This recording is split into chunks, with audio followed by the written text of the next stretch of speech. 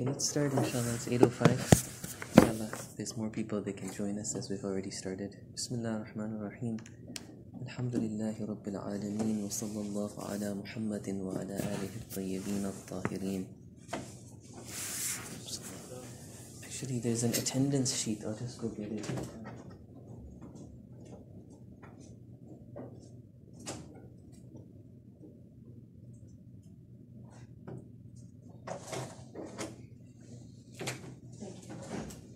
Yeah, if you can please fill attendance sheet. Side Okay, so let's get started, inshallah. Um, Bismillah. Before I start today, I wanted to narrate a story about a, a great scholar. Normally, we don't hear about female scholars, but this is a, an individual who was a very eminent scholar of the Shia community. Uh, her name was Banu Amin Isfahani. So today in particular our discussion around these pages 36 to 40 from Surah Al-Baqarah will pertain to divorce and marriage.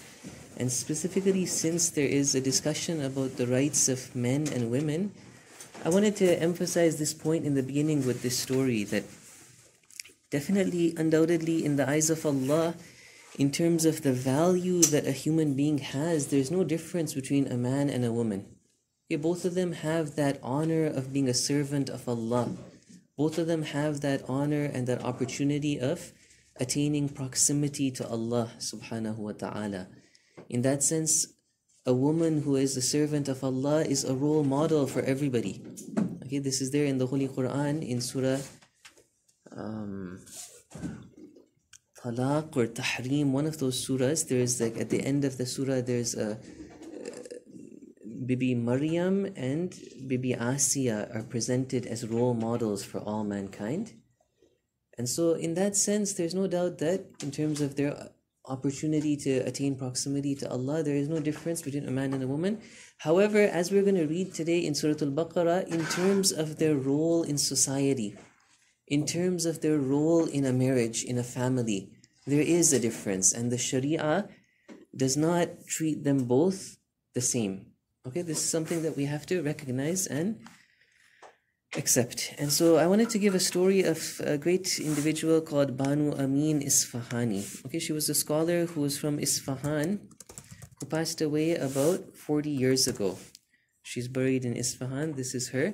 She wrote a, a tafsir of the Quran amongst other books. She's maybe the only female scholar we have who has written a complete dore, a complete kind of book uh, of tafsir.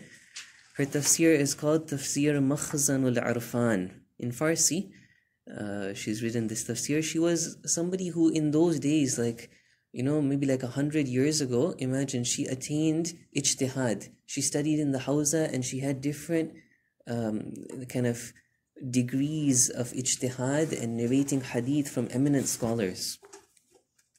Nowadays, even for a lady to do this in the Hawza is hard. I can't imagine how hard it must have been back then. And so let me just narrate one story about her that one of the ulama narrates that he was once having a conversation with Banu Amin and she was narrating to him certain spiritual realities that had been unveiled for her. And she told this scholar that every time the angel of death comes to take somebody's life from this city that I live in, from this area that I live in, I am aware of that. I know that the angel of death is coming. I know whose house he's going to and whose whose life he's going to take. So this person was shocked, the, the person she was talking to, who's narrating the story, and he asked her that, how did you attain this high level and how are these uh, spiritual realities unveiled for you? And in response, she said that it was because of her uns with the Holy Quran.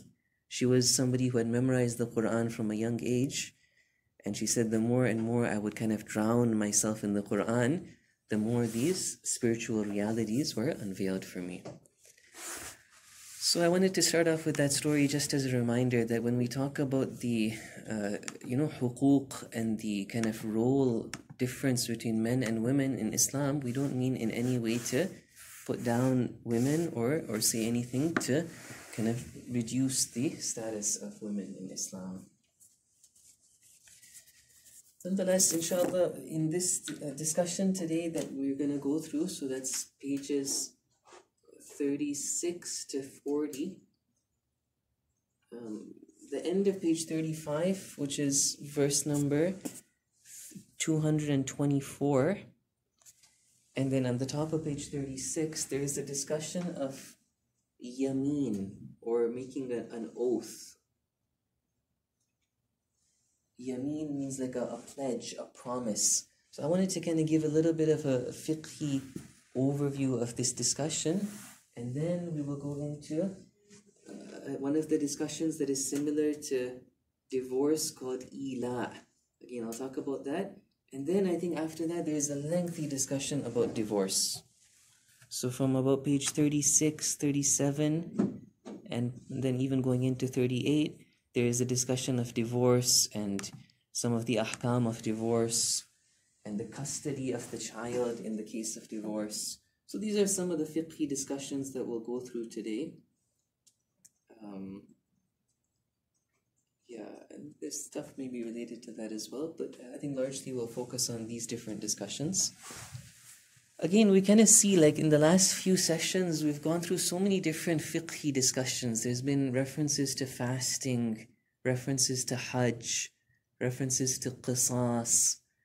And so it's kind of beautiful to see how the Holy Quran touches on many of these important fiqhi discussions, although it doesn't give us a complete picture of the ahkam. It's not a book of ahkam, but at the same time, in order to understand the Holy Quran, we need to have some familiarity with the Sharia, with the ahkam. And so that just at least that gives us an idea of the importance of the ahkam.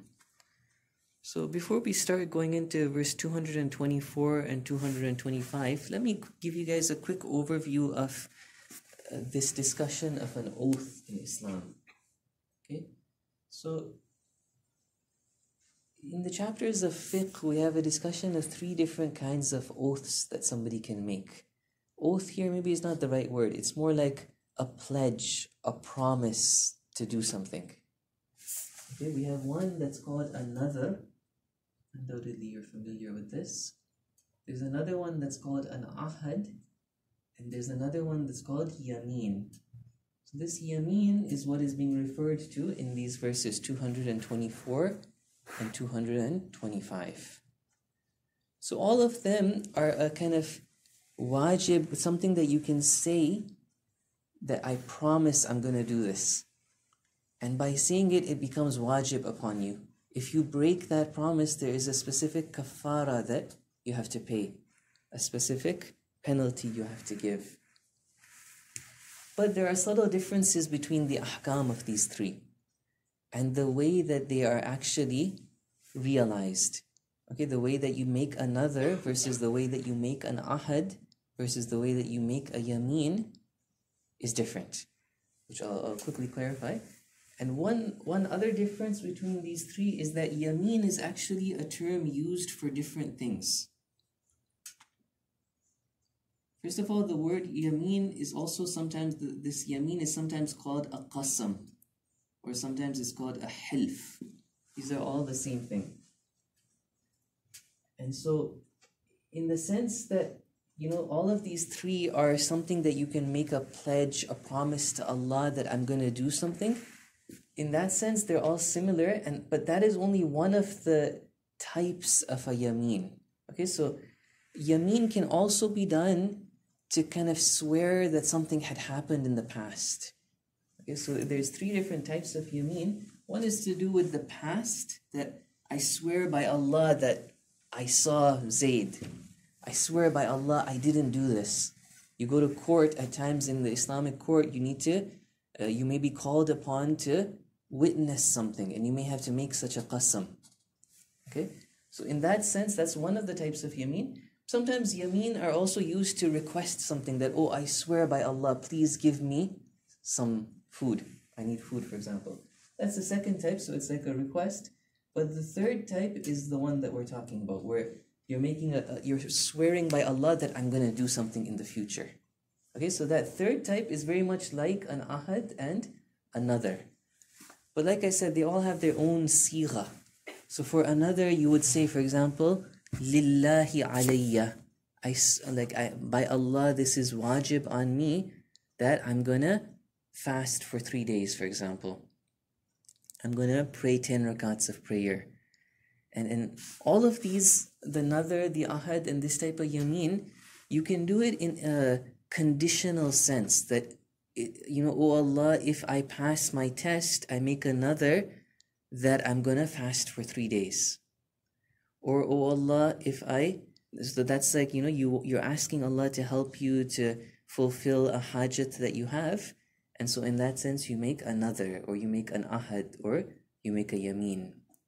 Sometimes no, it might be done so that you want to hold yourself back from something. You want to stop smoking. So you say, I make a nadr lillahi alay. Every time I smoke, I'm gonna fast one day.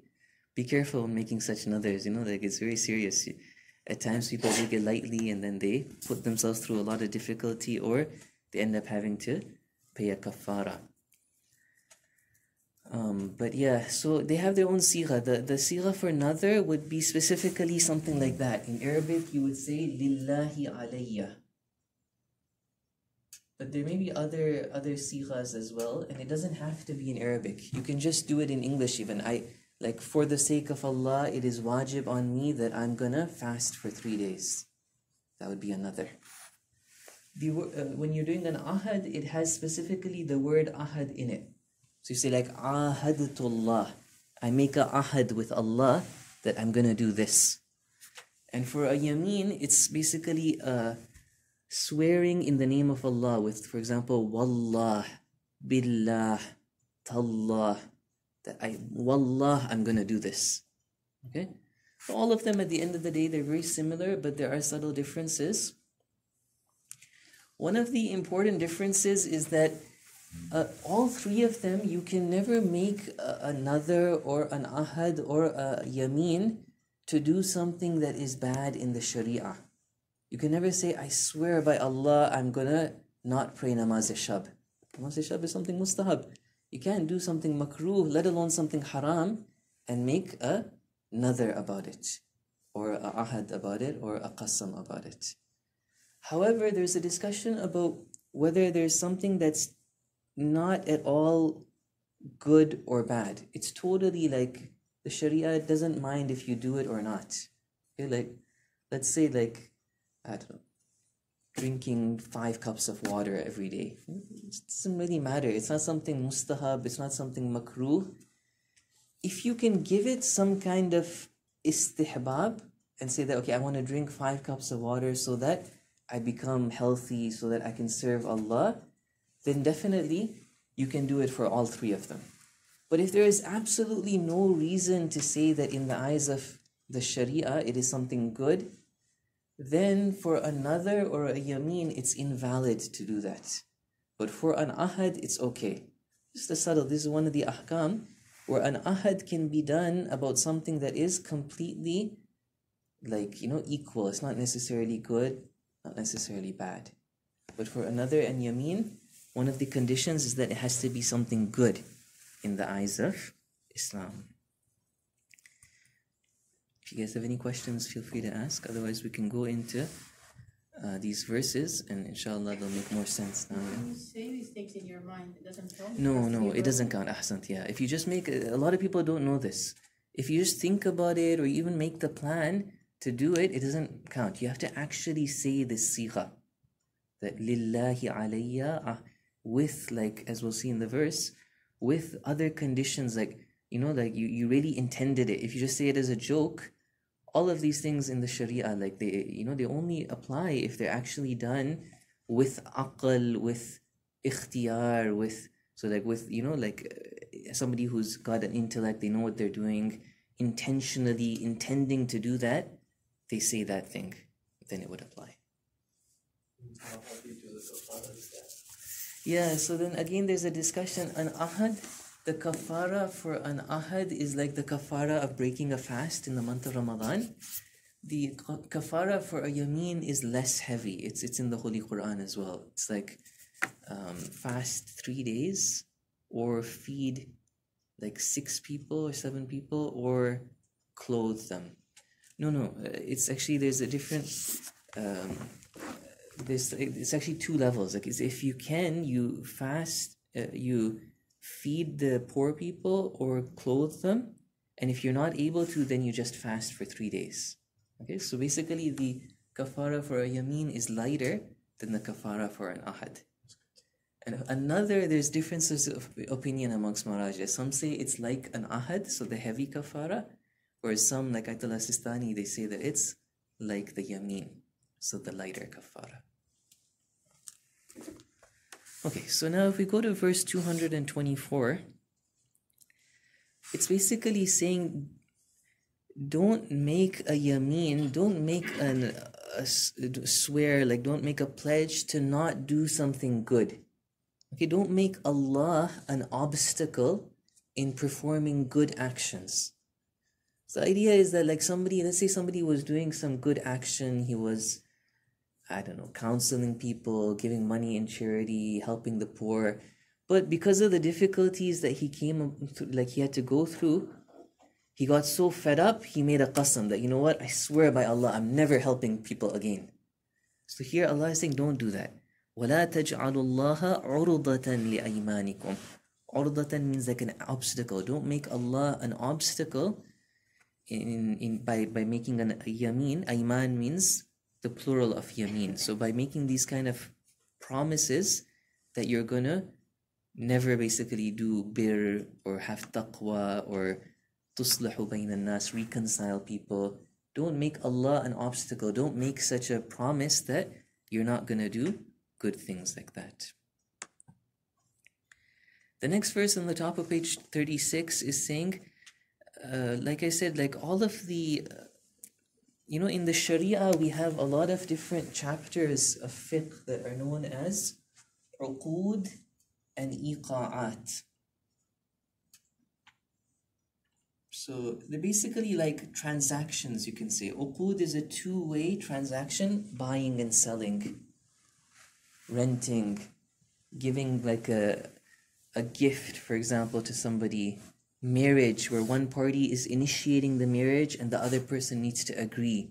These would all in the Sharia be called uqud. Whereas iqa'at are one way. Okay, it's just like uh, there's something called ju'ala where you, you basically allocate prize money for anybody who does something. It's a one way thing. There's nobody on the other side who needs to agree. Or divorce, as we'll come to today. Divorce is a one way thing in the Sharia where the husband divorces okay normally. I mean there's exceptions there's different ways it can be done. So anyways the idea is in the uqud and the iqa'at one of the conditions is that you have to be serious in what you're saying and what you're doing. You can't if you're just joking and you say i've divorced my wife it has no effect. Okay? So even here i think that's what the verse is saying when it says la yu'akhidukum allahu bil fi aymanikum that Allah will not call you to account. He will not hold you accountable for laghw. If you make a promise that wasn't serious, you weren't really like serious in what you were saying, it was just laghw. It was just something vain. But what he will call you to account for is ma qulubukum, what your hearts have earned.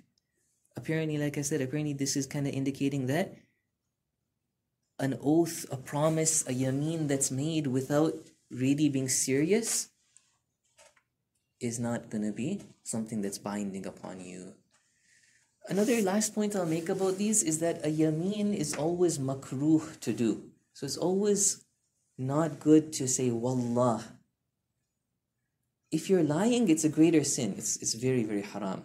But even when you're telling the truth, it's not good to make a yameen. However, I don't think a nadr is like that. A nadr, we have stories of the ai stories of pious people who, when they wanted a certain hajat to be fulfilled, they made, made a nadr to Allah that, oh Allah, if this hajat of mine is fulfilled, I'll give this uh, amount in charity or I'll do this good good deed, basically.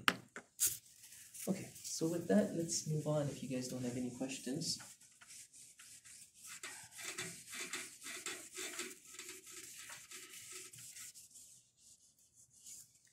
The next discussion, uh, before we come to the main discussion of divorce, is something very much related to divorce and also very much related to a yamin or an oath, which was a practice that the Arabs had in the days of Jahiliyyah before Islam, where a man would make an oath to not go close to his wife, basically. Okay? So it was a kind of punishment and torture on this poor wife where she wouldn't be like, you know, benefiting from being married in one sense, and she would still be married, so she wouldn't be divorced and free to go and marry somebody else. So this is known as ila. So where a, a man makes an oath, he makes a yameen that I'm not gonna have relations with my wife. So in, in Islam, this is discussed in the books of fiqh and in this verse of the Holy Quran, where basically in this situation, a woman can go to, like the, the fiqhi rule is that a woman can go to the hakim. Okay, a woman can go to the Islamic authority, the mujtahid basically, and the mujtahid can then say, okay, the man has four months in these four months, he either needs to break his promise, which is good here. He's supposed to break his promise here. And, and also, this is an exception to that rule that I mentioned that normally a promise, a yameen in Islam, is only valid if it's for something good, right? Here, no, even though it's not something good, it has an effect and there are ahkam around it. So basically, he's supposed to break this promise and give the kafara and go back to a normal married life. But if he doesn't, he's supposed to divorce the wife. And if he doesn't, then the, the hakim, the mujtahid, can come and by force divorce the husband and wife. So basically, this practice is what is being referred to that لِلَّذِينَ يُؤْلُونَ مِن نِسَائِهِمْ Those people who do ila, that means that they do this, they make this yameen, they make this qasam, that they're not gonna have relations with their wife. تربص أربعة أشهر. The Quran is saying here they should wait for four months. And then one of two things. فَإِن فَاءُوا فَإِنَّ اللَّهَ غَفُورٌ رَحِيمٌ. If they go back to their wives, that's good. Allah is all forgiving and all merciful. Or if they decide to divorce their wives, then God is aware of what they're doing. Like, you know, that's not advisable. But at the end of the day, they have to pick one of these two. Either they return back to their normal married life or they divorce their wife. They can't leave the wife in this middle state where they are not neither like you know married to her properly nor are they letting her be divorced.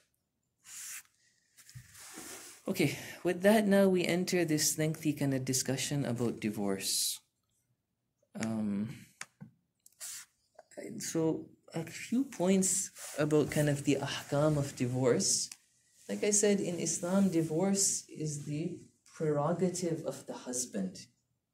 The default in the Sharia is that it is the husband who has the right to divorce the wife. Another important thing to know is that we have two types of divorce. One is called rij'i. That is what is being referred to in some of these verses. The other one is called ba'in. The difference is that in the divorce that is rij'i, the husband can decide to take back the wife. Okay, there is a period of time after a divorce happens known as the iddah. We'll talk about it, it'll come in these verses that how long is the iddah. In this period of iddah, if the divorce was a rij'i divorce, at any time the husband can go back on his plan to divorce. He can decide that no, you know what? I want to be married again, and he can take her back. Whereas if it's a ba-in divorce, then no, that's no longer the case. He doesn't have the right to take her back. There are different things that would make a divorce ba-in as opposed to rij'i.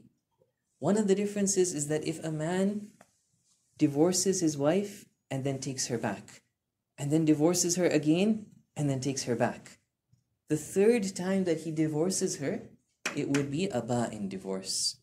So after that third divorce, he's no longer allowed to marry her again unless there's uh, one situation where he is, which we'll come to in the Holy Quran. But yeah, overall, you know that like divorce is something that whereas other religions, I believe the Catholic Church does not allow it, in Islam it is not at all recommended. It's very, very much frowned upon. But at the end of the day, the reality of you know the world and the way people are is that at times people cannot live together, and so there is this aspect of the Sharia where divorce can be done. We actually have a hadith which is maybe not very authentic, but we have a hadith of the fifth Imam alayhi salam that uh, he was very much attached to one of his wives, but one day he divorced her. And when people asked her why, asked him why did he do that, he said that I mentioned Amir al-Mu'mineen alayhi salam in front of her and she cursed him. And so I did not want that uh, my body touched like a piece of the fire of hell, and so I divorced her. But about the authenticity of had- this hadith, there is doubt about it amongst the ulama. Anyways, uh, so let's now go to these. Just a question on the first step first. Um, so the actual of divorce is recited, and he can take her back without remarrying her Yeah, yeah. within uh, certain period, or You know, in the idda time only. The iddah. When the idda finishes, then she's like, yeah, she's no longer under his. So in this period of idda, in a rij'i talaq, the wife still has all of the ahkam of a normal wife. She, she's supposed to live in the house of the husband. She's not just not required to wear hijab, it's good for her to like dress, adorn herself. And so, you know, Islam is, it's, this is there in the Holy Quran that she should be there in the house of the husband uh, you know, Islam is trying to somehow make it easy for them to get back together again. The husband still needs to take care of the wife. All of the expenses of the wife are still on the husband. Yeah, so in this verse that we're going to be reading now, there is this mention of matrimonial rights and how both the husband has rights that are on the wife and the wife has rights that are on the husband. Okay, so this concept is there in Islam definitely that both parties have certain rights on the other party. Both of them have a responsibility to the other. One of the very important rights that the wife gets is this right of nafaqa. Where regardless of how much money the wife has, she could be rich herself. She could be earning money. Still, she has the right to demand that her husband take care of her expenses to the normal amount in society that is appropriate for the level, the class of society that they live in. Like, let's say they're from a noble, rich family, then up to that level, when it comes to like food and housing and clothing and all of these expenses, the husband has the responsibility to provide that. So even uh, in the period of idda, that's still the case. In in a talaq rij'i, the husband needs to still provide for all of these expenses. But at the end of the day, we have this that we're going to come to in this next verse, verse 228. وَلِلرِّجَالِ عَلَيْهِنَّ دَرَجَةً Okay, that at the end of the day, in the Sharia, men have been given a certain advantage over women. And that I really want to emphasize what I started with here, that that is not in any way to put down women, to demean women, to say that in the eyes of Allah, God forbid, a woman is lower. No, that's not the case at all.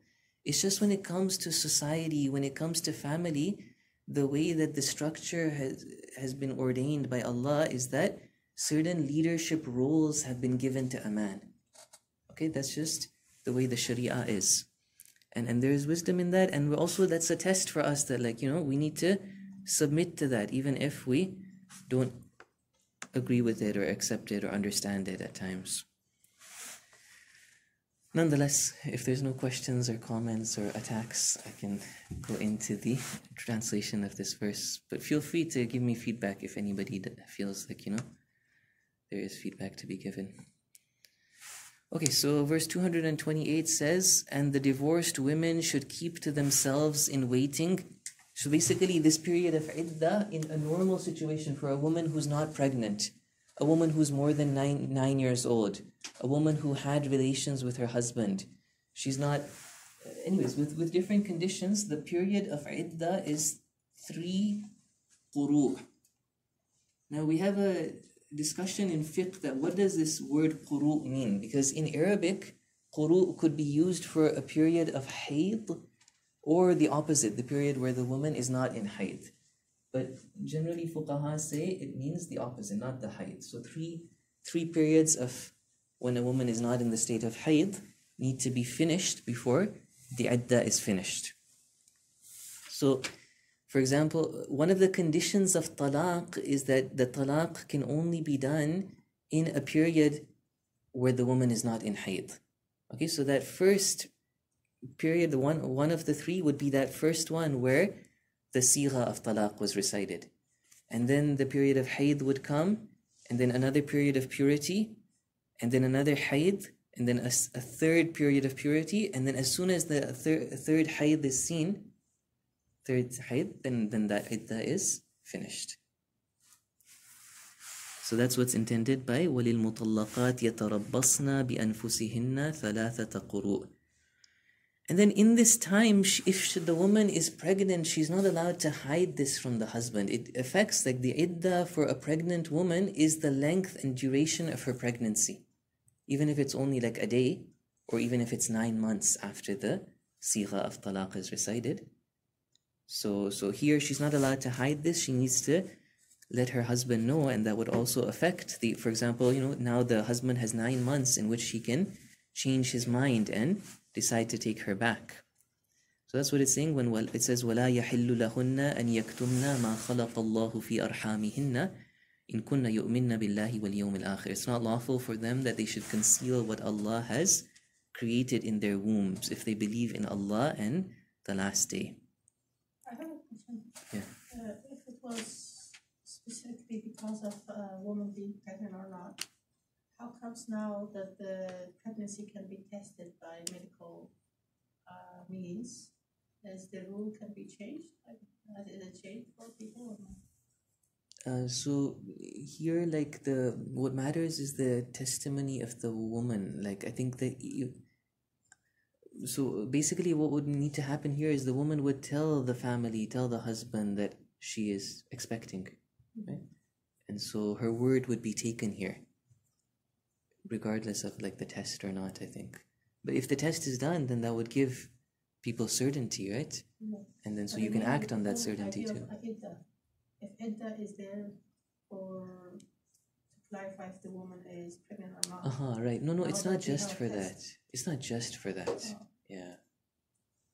That definitely is one of the wisdoms behind it, but there's other reasons too. Maybe that you know, like somehow respect the rights of the husband and to provide that time where the, they can be reconciled and easily get back together again.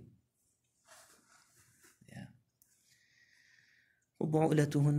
So then they're saying that in this period of iddah, the husbands have a right to take back the wife, basically. They have more of a right, and their husbands have a better right to take them back in the meanwhile if they wish for reconciliation.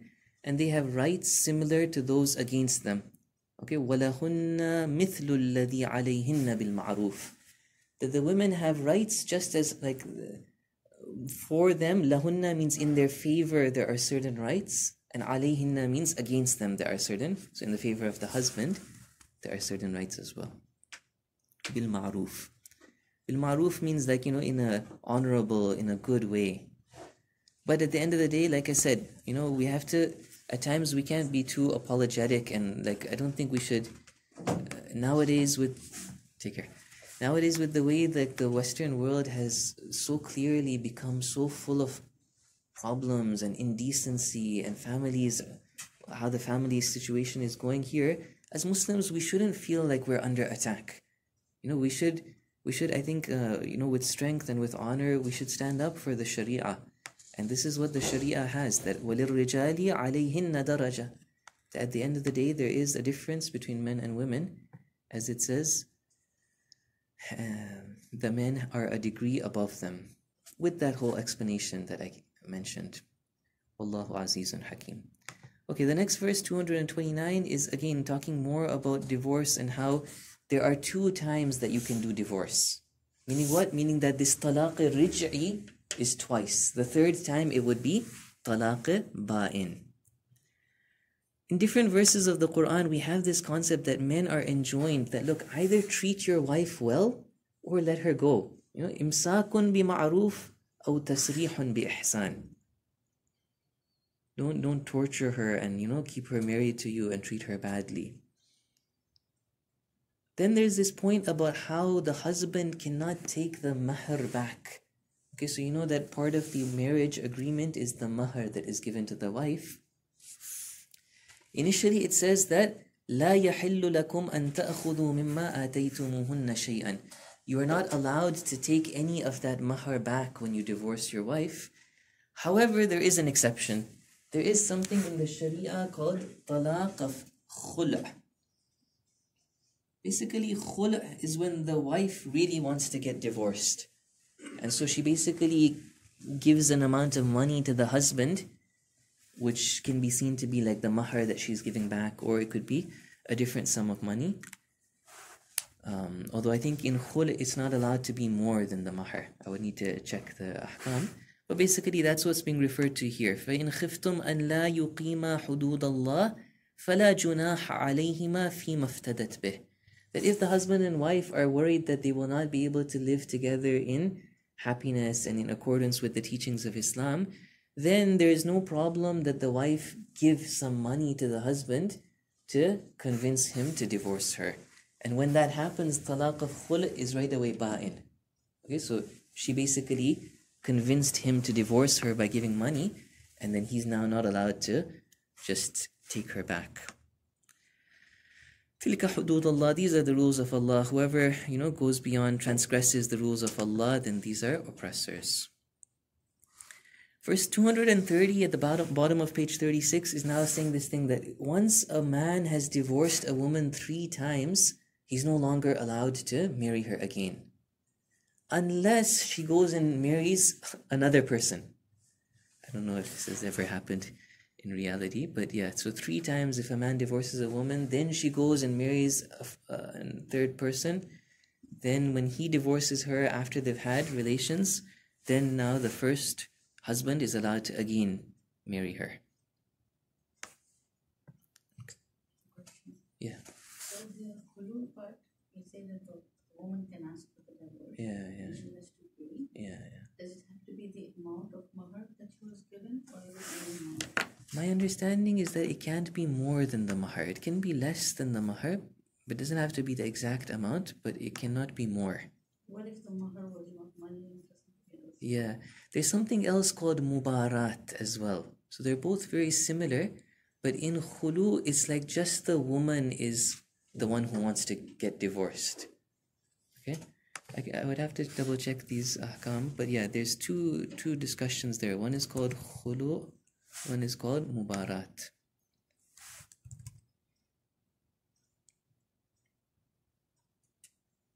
Yeah, I can I can look into this later and get back to you, inshallah, if you want. Okay, so now moving on to verse 231 and 232 on the top of page 37. It's basically, again, somehow trying to get rid of these cultures that were there prior to Islam, where the women were very much abused and everything was decided by the men, and the men, at times, the husbands would really torture their wives. So in verse 231, it's referring to this concept of some husbands would just like make a mockery of the law. And they would divorce and make the woman wait for the entire period period of the iddah. And at the end of the iddah they would take the woman back. And then again they would divorce her and so she would be in this state where she's not really married nor is she free to go and marry whoever she wants so here it's saying, look, when this idda period finishes, then do one of the two things. Either amsikuhunna bima'rufin, either in an honorable, good way, be married to her, take her back, or let her be free. لا تمسكوهن ضرارا لتعتدوا. Don't hold on to this woman in such a you know mean way. Uh, do not retain them for injury, is how it was translated. Oh, I have the translation of Shakir here. If we open the translation of Quli Qarai, it says, Do not retain them maliciously in order that you may transgress. So it's referring to this kind of idea of, you know, not letting her be free to be divorced and go marry someone else, but at the same time not remaining married to her in a honorable way, in a nice way. Whoever does this has oppressed themselves. Do not make a mockery of the religion, basically. لا تتخذوا آيات الله هزوا. Do not take the signs of Allah in derision.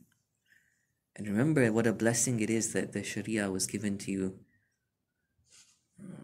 You know, remember Allah's blessing upon you, what He has sent down to you of the book and wisdom to advise you therewith. Be wary of Allah and know that Allah has knowledge over all things. The next verse is very similar. It's saying that, okay, that was the previous verse 231 was addressing the husbands that, you know, don't oppress your wives, just let them be free or marry them and be with them nicely. The next verse is apparently addressing the men folk of the community, of the family, that don't stop the women who have been divorced to go and marry somebody else that they want to. Okay, so there, there are specific like cases in the life of the Holy Prophet ﷺ that happened where one of the companions, his cousin's sister got divorced and then she wanted to marry somebody else, but he didn't want her to marry that person, so he was becoming an obstacle. Here Allah is saying, no, when this happens, then فَلَا تَعْضُلُوهُنَّ أَن يَنْكِحْنَ أَزْوَاجَهُنَّ Don't stop them from marrying whoever they want. Or maybe it refers to here going back and marrying that first husband that they had. Yeah, I think that's what it's referring to. As it says in the English, do not hinder them from remarrying their husbands. Basically, the men of that family should not stop this woman from getting married as she wants to. Herewith are advised those of you who believe in Allah and the last day, and that will be more decent for you and more pure for you. Okay. So the next discussion, if there's no questions or comments. The next discussion is about like custody of the child or breastfeeding of the child. And so there's kind of two opinions here that do we understand this as an independent discussion on its own? Or do we understand it as kind of coming within the context of divorce? And it makes sense, the, the latter opinion, that this discussion really becomes a heated discussion when there was a divorce.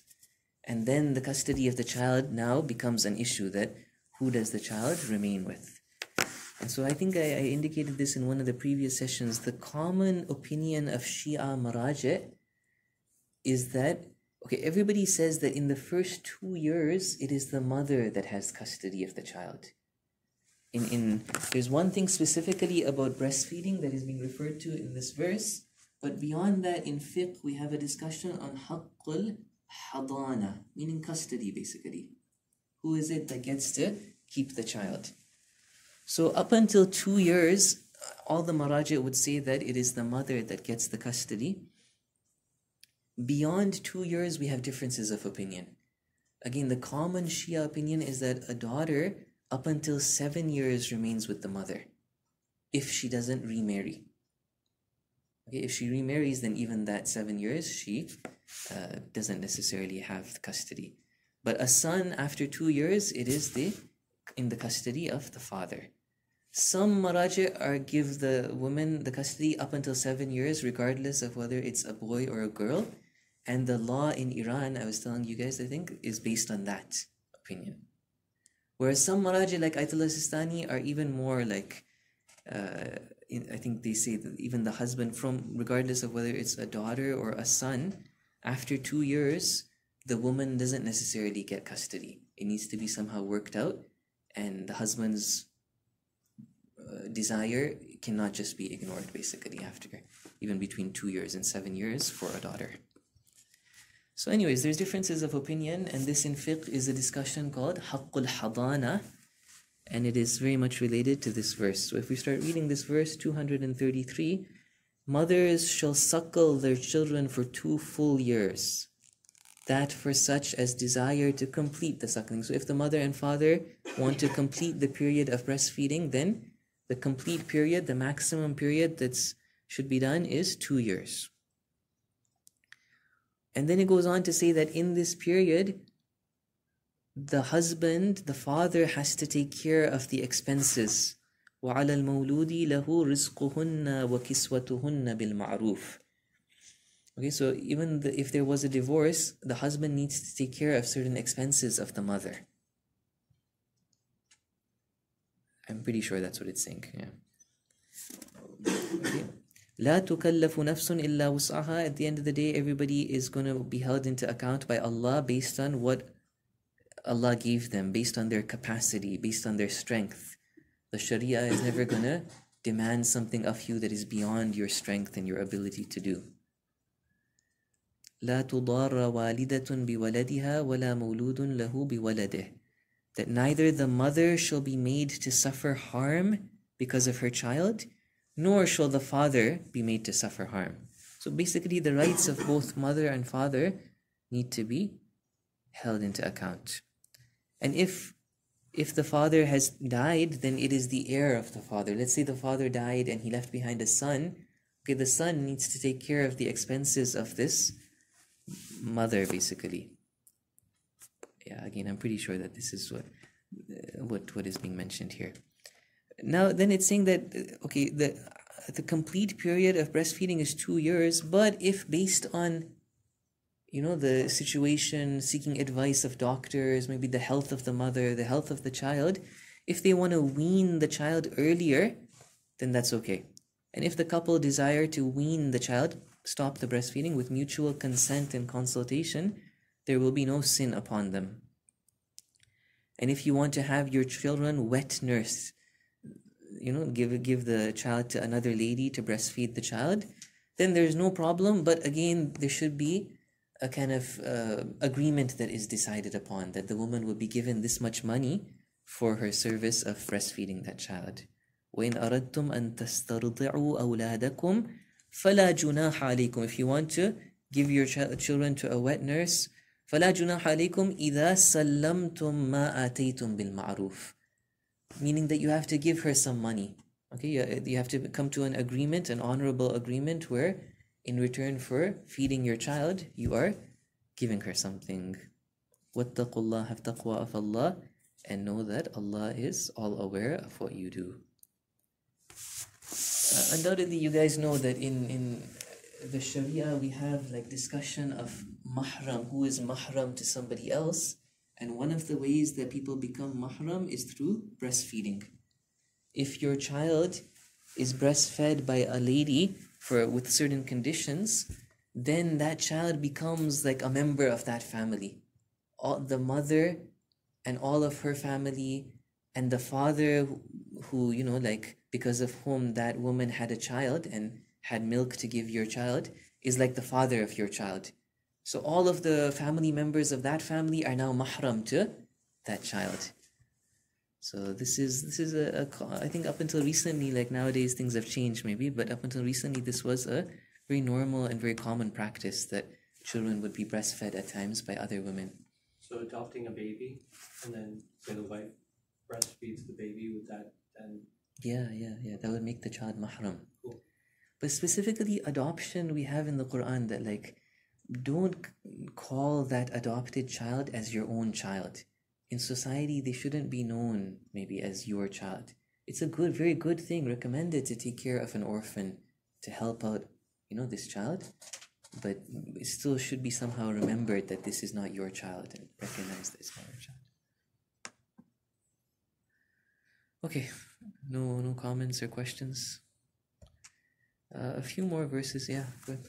Uh, going back to 224 uh, and not divorcing kind of in vain or just saying it, is that a consensus amongst uh, all Muslims? Um, 225, I think, is what you're talking about, and that too, it was not about divorce there. It was just generally about making an oath, making a qasam. That uh, that was about a qasam, but it's something that all like all of the uqud and iqa'at. So, for example, divorce, marriage, if it's just done without any real intention, it's not valid. Yeah, and definitely in our fiqh, it's not valid. But I think maybe it's not so clear in Sunni fiqh, right? I, I remember somebody was once saying like in Pakistan there was a controversy about like a husband and wife who on film on TV they acted out a divorce and then people were saying no now that you've done that you're really divorced so in our fiqh definitely that wouldn't mean anything if it was done as a joke it would have no effect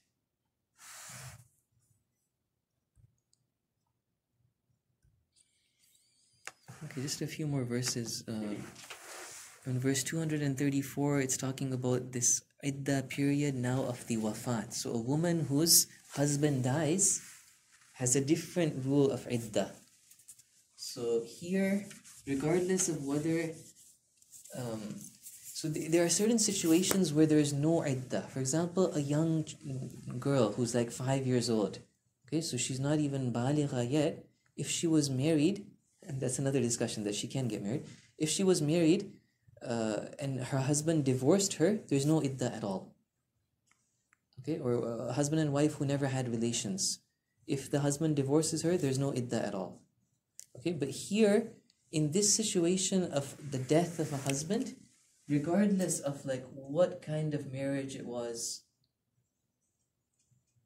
regardless of whether the girl is young, regardless of whether they had relations or not, there is always going to be this iddah period of four months and ten days. And beyond that, beyond the normal ahkam of iddah, meaning that she's not allowed to get married again, there's something else that applies in this situation specifically. That is, uh, basically, the, the woman is not allowed to adorn herself. Okay, I'm pretty sure it's called in Arabic hidad. Just a fiqhi term that the woman in this period of four months and ten days, she's not allowed to do anything that would be considered a zinat. She's not allowed to dye her hair, she's not allowed to adorn herself in any way. So this is part of the ahkam of uh, the death of a husband. But that is what is being referred to in this verse, where it says, I'm pretty sure, I, I don't know, I didn't look it up right now, but I'm pretty sure it's called hidad in Arabic. So this verse 234, it's basically saying that, as for those of you who die leaving wives, they shall wait, these women shall wait by themselves for four months and ten days. And when they complete their term, so when this four months and ten days is finished, there will be no sin upon you in respect of what they may do with themselves. Meaning what? Meaning the family of the deceased husband should not stop that woman from remarrying once the iddah is finished. Okay, so she should be free to marry again, but once the iddah period has finished. Uh, just quickly, since in the interest of time, on the next page there is a very similar verse, verse 240. Apparently, a lot of uh, ulama say that this is a verse that was abrogated by that previous verse that we just read. So, whereas verse 240 is saying that the idda period of a woman whose husband dies is one year, that was abrogated, and the previous uh, verse that we just read, verse 234, I think, was the is the real rule, basically the final rule. So in verse 240, it says, Those of you who die leaving wives shall bequeath for their wives, should leave money basically aside for their wives without turning them out for one whole year.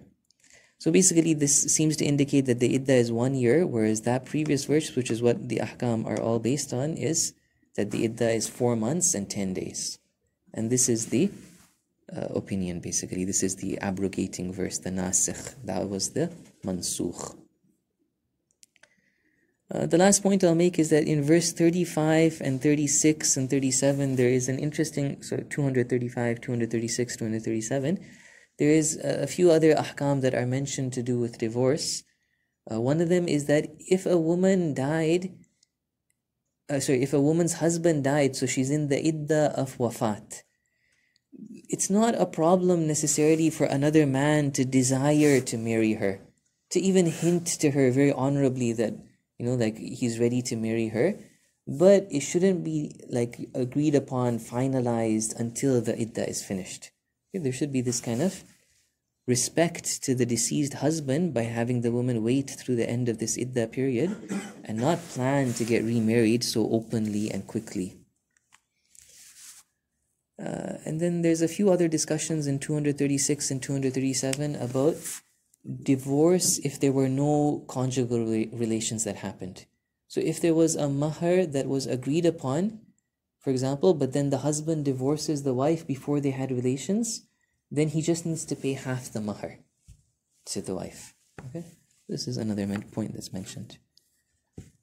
Anyways, we'll, we'll leave it at that. If you guys have any questions or comments, I can stick around, but it's 9 o'clock now, so let's wrap it up. Inshallah, we have two more sessions, uh, continue in this way. Uh, the last session, my father will come, inshallah, and somehow con- conduct like a survey or get your feedback on how things went. Inshallah, I hope that it's of benefit to you, dear brothers and sisters. وصلى الله على محمد وآله الطيبين الطاهرين